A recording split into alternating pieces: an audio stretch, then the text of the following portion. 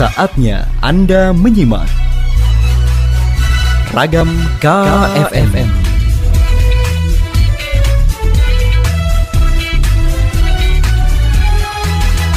Sebagai wujud dukungan PPKM Mikro, Polres Pekalongan terus bagikan masker gratis kepada warga.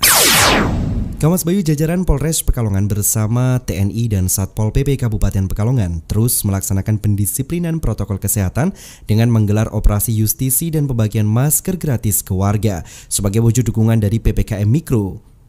Disampaikan Kapolres Pekalongan AKBP Darno melalui Kasubakumas AKP Akrom dilaksanakan sebagai upaya mengoptimalkan regulasi pemberlakuan pembatasan kegiatan masyarakat atau PPKM berbasis mikro.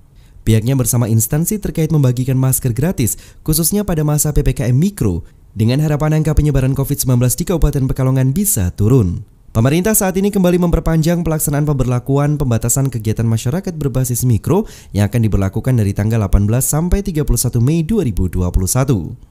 Kasubakumas mengungkapkan bahwa Kapolres Pekalongan telah menginstruksikan kepada Polsek jajaran untuk terus melakukan pendisiplinan protokol kesehatan 5M, yakni dengan operasi justisi dan juga gencar membagikan masker kepada masyarakat serta melakukan edukasi terkait vaksinisasi COVID-19.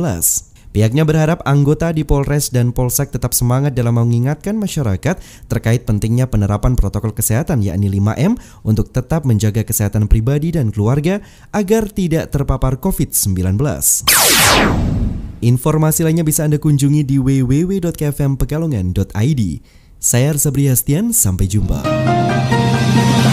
Demikian tadi telah Anda ikuti Ragam KFM. Simak informasi lainnya hanya di 103,1 KFM. KFM.